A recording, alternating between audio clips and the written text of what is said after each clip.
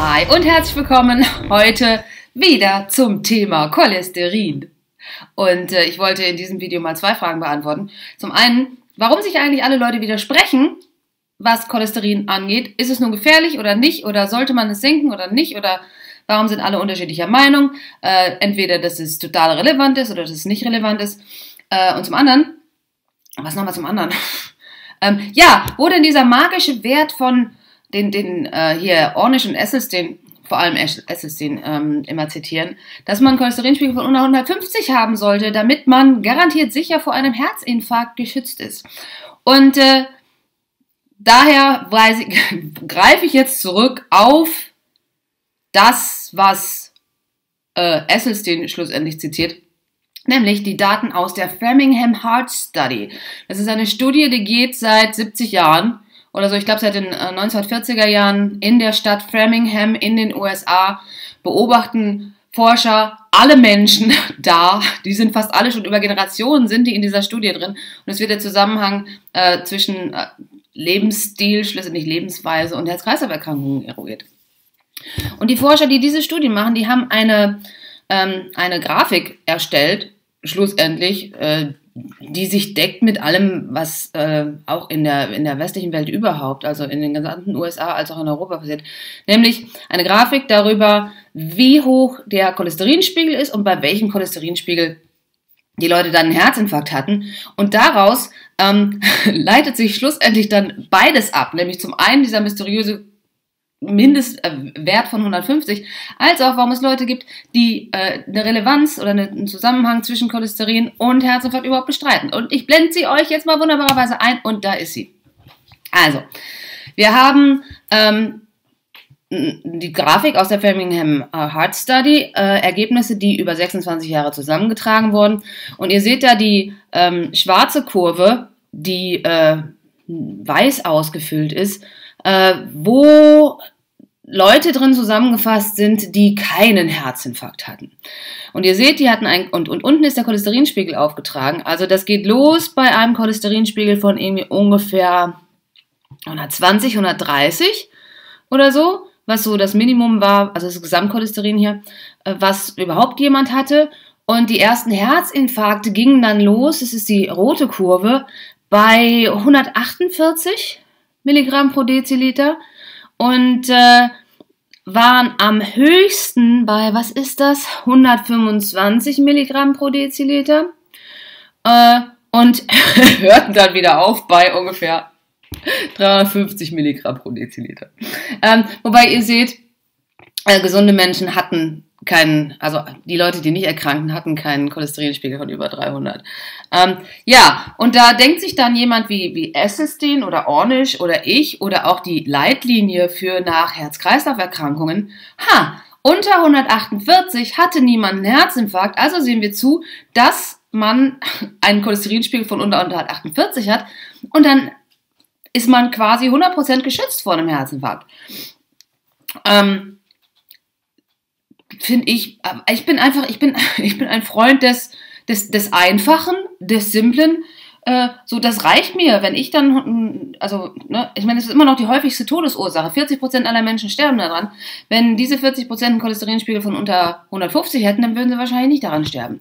Aber, aber die meisten Leute, das seht ihr auch in der Kurve von Leuten, die keinen Herzinfarkt hatten, die hatten auch durchaus einen höheren Cholesterinspiegel und hatten trotzdem keinen Herzinfarkt. Und dann gibt es Leute, die, die es sich gerne komplizierter machen. Forscher, Mediziner, andere Mediziner, klügere Mediziner als ich. Ich bin da, ich bin da nicht so.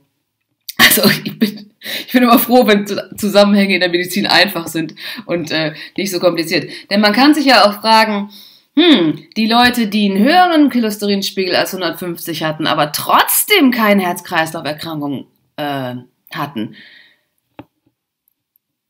Vielleicht haben die was anderes gemacht. Vielleicht ist Cholesterin nicht der einzige Risikofaktor, denn da müsste man ja da einen linearen Zusammenhang sehen. Ähm, und dann ist man, andere Leute sind dann dieser Forschung nachgegangen. So, was, was ist denn, was machen die denn vielleicht noch richtig? Und dann ähm, kommt man auf solche Sachen wie, Ah, die haben mehr Vitamin D im Blut, deswegen waren die geschützt. Oder ah, die haben DHA mehr, also Omega-3-Fettsäure äh, mehr gegessen und waren dadurch geschützt und alle solche Sachen. Ähm, dass man sich das überhaupt fragen muss, ähm, hängt natürlich damit zusammen, dass ich habe es euch in dem Hausarztpraxis-Formulatur-Video schon mal gesagt, ungefähr 90% aller Menschen, die in die Hausarztpraxis kommen, haben einen Cholesterinwert von über 200. Und äh, unter 200 ist der Referenzwert, also so hat die Leitlinie es gerne. Ähm, und äh, wir können jetzt aber nicht hingehen und all diesen Leuten, die Cholesterinspiegel von über 150 haben, nur um die garantiert zu 100 Prozent äh, zu schützen vor einem Herzinfarkt, den Cholesterinsenker verschreiben.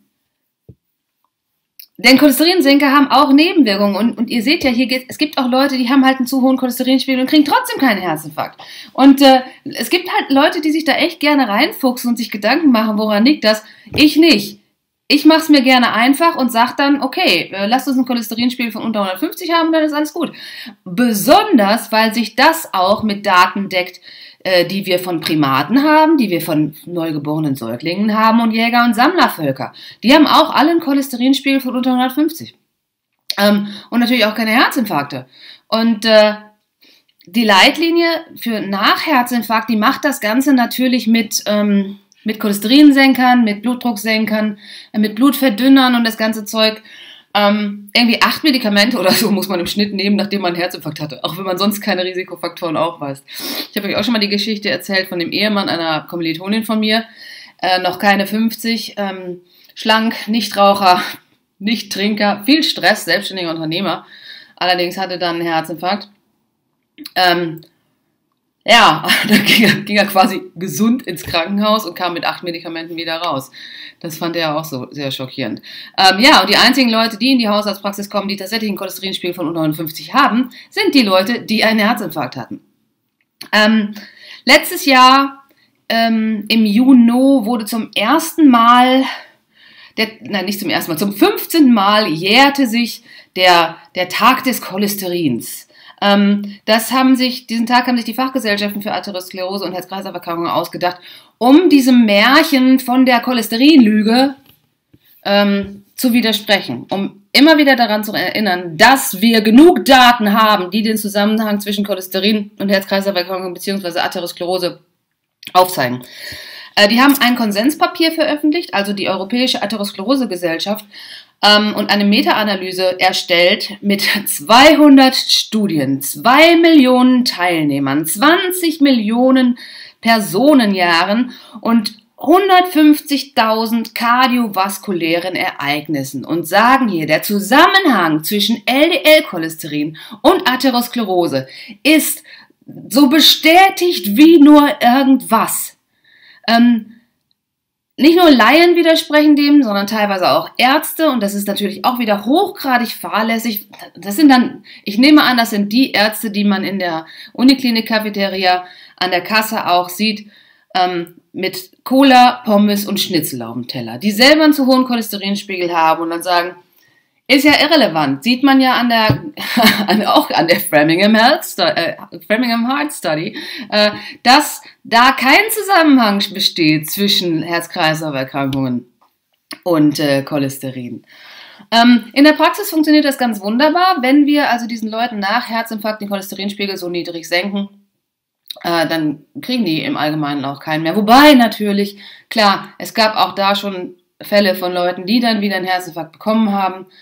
Ähm, die kriegen keinen mehr, wenn sie sich auch daran halten, ihre Medikamente regelmäßig zu nehmen. Das machen wohl auch nur 50 Prozent aller Patienten so im Schnitt. Ähm, ähm, wo war ich? Ja, das funktioniert auch. Es sei denn natürlich, äh, man kriegt sehr schnell, nachdem man gerade erst seinen Cholesterinspiegel runtergekriegt hat, einen neuen Herzinfarkt. Denn das dauert ja auch eine Zeit, bis sich die äh, Arteriosklerose wieder zurückbildet. Ähm, ich habe schon mal erzählt, die Uniklinik, beziehungsweise pff, also die medizinische Fakultät in Köln lehrt bis heute, dass Arteriosklerose nicht reversibel ist. Es stand schon, also äh, Ornish Studie ist, ich glaube, von 1990. 28 Jahre ist das her, dass wir wissen, dass mit einem dass man mit einer vollwertigen pflanzlichen Ernährung äh, Atherosklerose rückgängig machen kann. Und es gibt mittlerweile auch Medikamente, sehr, sehr, sehr, sehr starke Cholesterinsenker, die auch in der Lage sind, ähm, ähm, Atherosklerose dann rückgängig zu machen. Das ist einfach so. Also, jetzt wisst ihr, warum sich Leute widersprechen. Jetzt wisst ihr auch, wo dieser Wert herkommt mit den unter 150 Milligramm pro Dezilitern. Ich verlinke euch äh, die Framingham Heart Study unten drunter und auch den Artikel aus der Ärztezeitung über Cholesterin und dass es absolut sicher ist, einen Cholesterinspiegel von 120 zu haben oder ein LDL von 60. Ähm, was schreibt hier einer der, einer der Herren ähm, von der, von der Lipidliga? Die Lipidliga? Hießen die so? Ein Gesamtcholesterin von 120 Milligramm pro Deziliter ist unproblematisch, ein LDL-Cholesterin von 60 Milligramm pro Deziliter völlig ausreichend, sagt der Lipidologe. Diese Konzentration oder sogar deutlich weniger finden sich bei Kindern, bei Naturfolgern und bei Säugetieren. Ja, das war alles, was ich dazu zu sagen habe. Ähm, natürlich können wir die Leute, die, die noch keinen Herzinfarkt haben, hatten, aber einen Cholesterinspiegel von über 150 haben, nicht dazu zwingen, sich so zu ernähren, dass sie keinen Herzinfarkt bekommen. Also, also ist das jetzt so. Da muss man halt dann ne, sterben. Das ist wie, wie die Natur. Fressen und gefressen werden. Wenn ich hören will, muss fühlen. Das war's. Ich hoffe, das Video hat euch gefallen. Wenn ja, gebt mir einen Daumen hoch. Wenn ihr keine meiner Videos verpassen wollt, abonniert mich. Ich sag ciao. Bis morgen. Eure Silke.